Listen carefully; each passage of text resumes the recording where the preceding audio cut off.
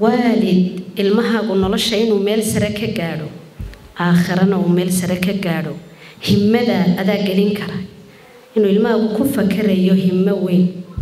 Waxaan ku soo koray anigu aabbahay wuxuu igu odhan jiray allah yarxame raxmatan waasica.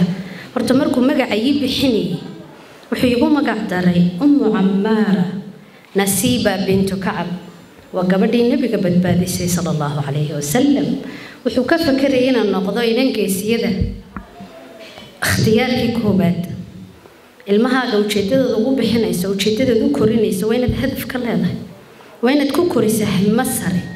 Wuxuu igu oran jiray aabbahay noqo inaan la tallaabsan ilmo la tallaabsanaya. Nimanka dunida haysta ubadkooga aqoon ahaan. Oo aqoontayda maadiga wakhti badan buu geliyey aabbahay ilaahay u naxariisto. Diin ahaanna wuxuu geliyey wakhti badan wuxuu igu oran jiray. Waxaan doonayaa safka inaad la gasho jannada faadima binti rasuulillaah himadaasaan ku koray.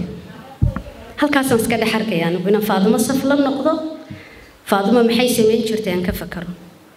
Adduunkana aan ka fakaro sidan jiilkiiyo ummadayda u bedeli karaa. Oy somalilan waxu noqon kartaa. Oo ula tartami karaa. Ilmahan anigu dhalaa ilmaha kuwa dunida haysta marka himad sare ilmahaaga ku kori. Nebigu sala allahu calayhi wasalam markuu rabaynayay saxaabada muxuu ku rabeeyey qur'aan iimaan akhlaaqiyaad himo sare.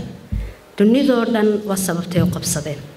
Marka hooyadu iyo aabbuhu waa halka koowaad ee ilmaha tarbiyadaysa. Waalid ma waxaad ka fakaraysaa inaad noqotid gurigaagu hooyadu ma waxay ka fakaraysaa inuu gurigeegu noqdo? Guri caadi la iskaga nool yahay. Mise waxaad ka fakaraysaa inaad noqotid guri samada laga yaqaano. Joyskaada iskale waalid ilaahay caa'iladayda ma soo hadal qaadaya.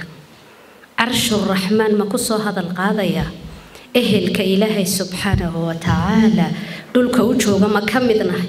Maxaynu halkaa ku gaadhinaa? Waa inaad ilmahaaga ku koriso qofka qur'aan helayna runtii wax saruu helay war qur'aanka kor ha loo qaado